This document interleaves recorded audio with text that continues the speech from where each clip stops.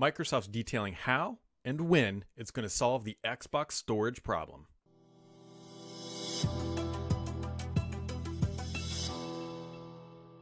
Ah, yes, the Xbox Series X and S, able to play multiple generations of games, new, old, and upcoming titles. But one of the biggest problems, especially on the Series S, is storage.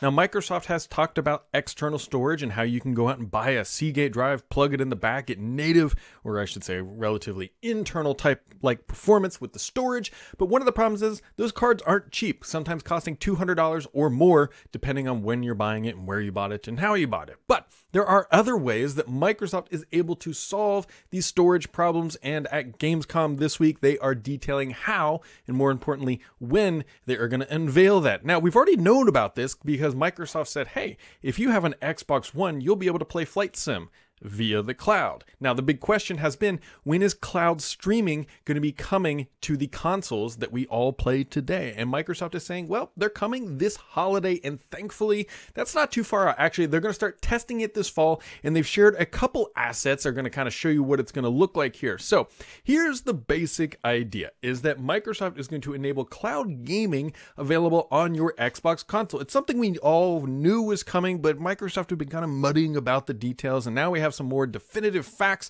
and them saying that you can you can play over 100 high quality games in Xbox Game Pass library without having to use up valuable storage or wait for installs. That's wait for installs will become apparent here about why this is so important because you will be able to quickly jump into fun with your friends in multiplayer games according to Microsoft. Like as soon as you get the invite, you just hold down your little Xbox button and you will jump into the game instantly. I think that's a really cool and differentiating feature that you're not going to be able to see replicated easier on other other platforms. So the idea is that look at any of these titles I have here. You have Ori, you have Dungeons, uh, you have Sea of Thieves, you have Destiny 2, you have Forza. Imagine you just click on that, you wait for that little loading screen that shows up when you play a cloud streaming title, and then eh, you know, 10 to 20 seconds later, you're in and playing.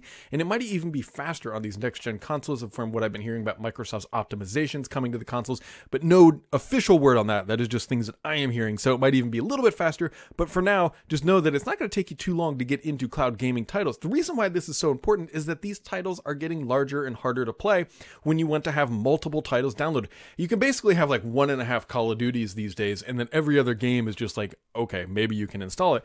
But with cloud gaming, especially these first person titles, or, or I should say, like first player experiences, especially like Ori or Minecraft Dungeons. Uh, sea of Thieves also actually plays pretty well. Forza, I'm a little bit on the fence about recommending that, or even Destiny, potentially maybe playing Destiny solo experience might be okay.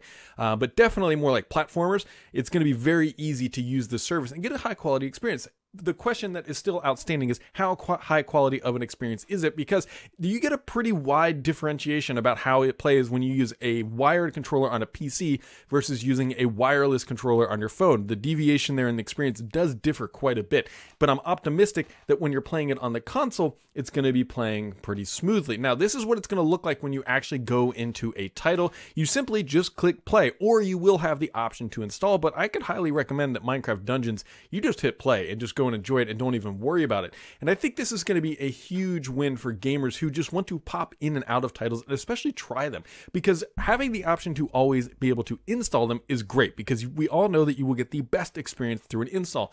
But a lot of times you just don't want to wait for it to download because what if the whole game downloads and it takes you a while, especially if a slower connection and you don't like it, which is pretty hot. Something happens pretty often to me where you just try a game, it's not for me, and you delete it. Well, being able to sample the game via cloud gaming is going to be a really easy and fast and convenient way to uh, to get access to things like this. Now, there are a couple caveats that are going to be coming with this that you should be aware about. That you're not going to be getting 4K streams.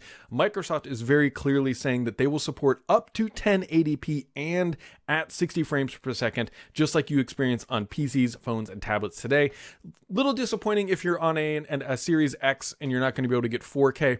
But at the same point, you'll also be able to download it and probably get this higher resolution. You should have a little bit more storage in theory because the, the Series X comes with more storage available than the Series S. But at the same time, a lot of games just don't need 4K. I think Minecraft Dungeons is actually one of those. Ori probably doesn't need it either.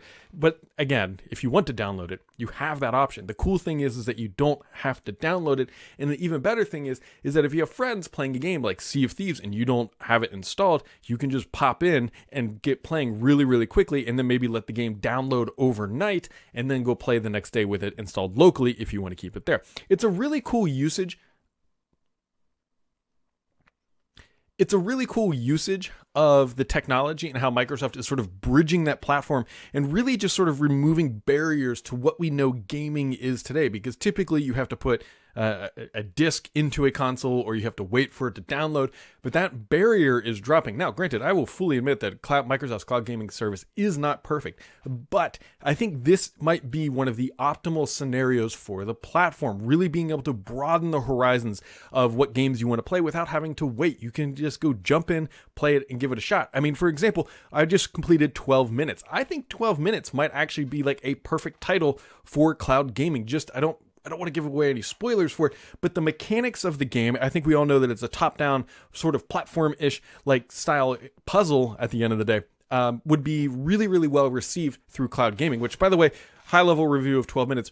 It's a really interesting title, very interesting game mechanics, some very frustrating points, but I mean, I completed it. So that pretty much tells you everything that you need to know. Um, at least I completed it once, and I'm not going to say any more about it because it might give things away.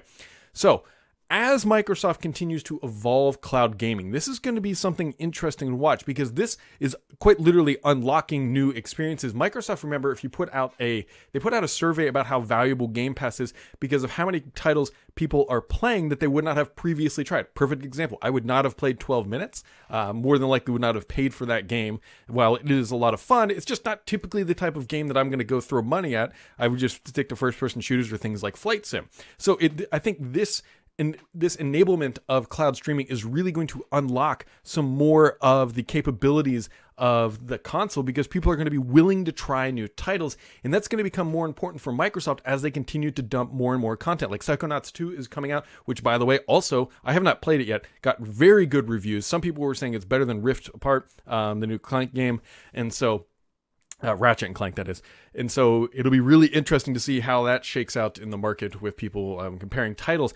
But again, Psychonauts 2, honestly, is a game I may not have bought but I'm definitely going to be playing because it's part of Game Pass. And honestly, it might also be a title that does well in cloud gaming once it does arrive because of the way it's operating. It's not basically a multiplayer title uh, at its core. It's more of a platformer, again, um, that typically does well on cloud gaming, which means just more and more people popping in and out of titles, which means that Microsoft's pipeline of content needs to be full and robust, which is why they're launching so many titles. I believe what is six games in six months, and it's going to really be starting to pay dividends for Microsoft here. So super interesting stuff. Now, the only unfortunate thing here is that we're not going to get full access to this. And by full access, I mean everybody getting access to this until later this year around the holiday, holiday timeline is when Microsoft is officially saying. I'll be super curious to see if Halo Infinite lands in the cloud gaming bucket.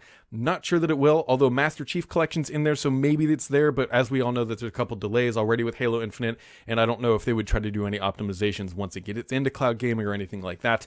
And so it might be a little early, but that'll be an interesting point to watch. Does Halo Infinite arrive or not? Because you could, in theory, start playing it via cloud gaming. And so there you go. Interesting stuff. I find this stuff super fascinating about how Microsoft is able to unlock experiences like this through a cloud gaming experience. I mean, this is this is sort of the the and I don't want to say the endpoint, but sort of the realization of why cloud gaming is so powerful. Yes, I know a lot of people, myself included, love to play it on mobile or love to play it in the browser, but I think sampling games, almost like snacking on games, is going to be a much much more utilized experience I, I, really do, than potentially even on a mobile device. Reason being, I'm a perfect example. I sit down on the couch, play a bunch of different games through cloud gaming, try them, or do what else.